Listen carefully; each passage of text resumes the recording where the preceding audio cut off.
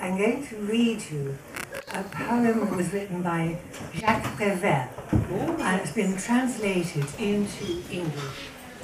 And I need you to actually imagine that you are artists because the poem is called Painting a Portrait of a Bird.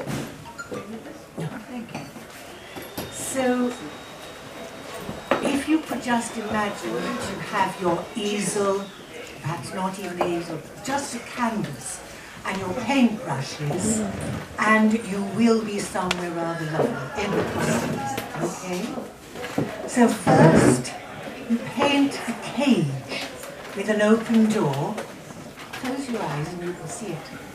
You paint your cage with an open door, then paint something pretty, something simple, something beautiful, and something useful for the bird. And then place the canvas against a tree, in a garden or in a wood or in a forest, and hide behind the tree without speaking, without moving. Sometimes the bird comes quickly, but he can just as well spend long years before deciding, but don't get discouraged wait.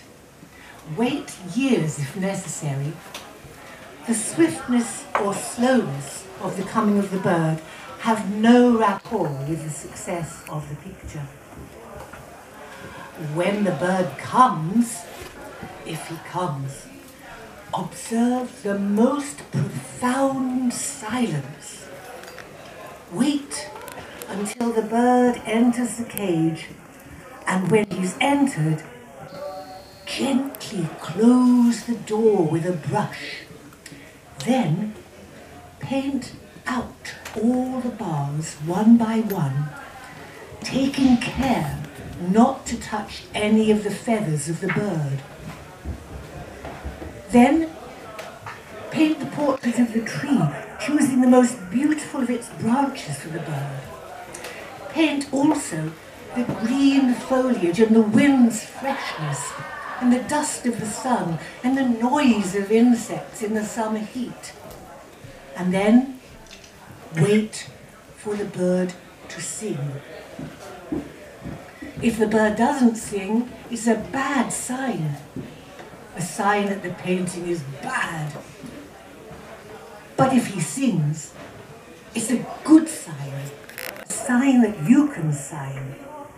So then so very gently you pull out one of the feathers of the bird and you write your name in the corner.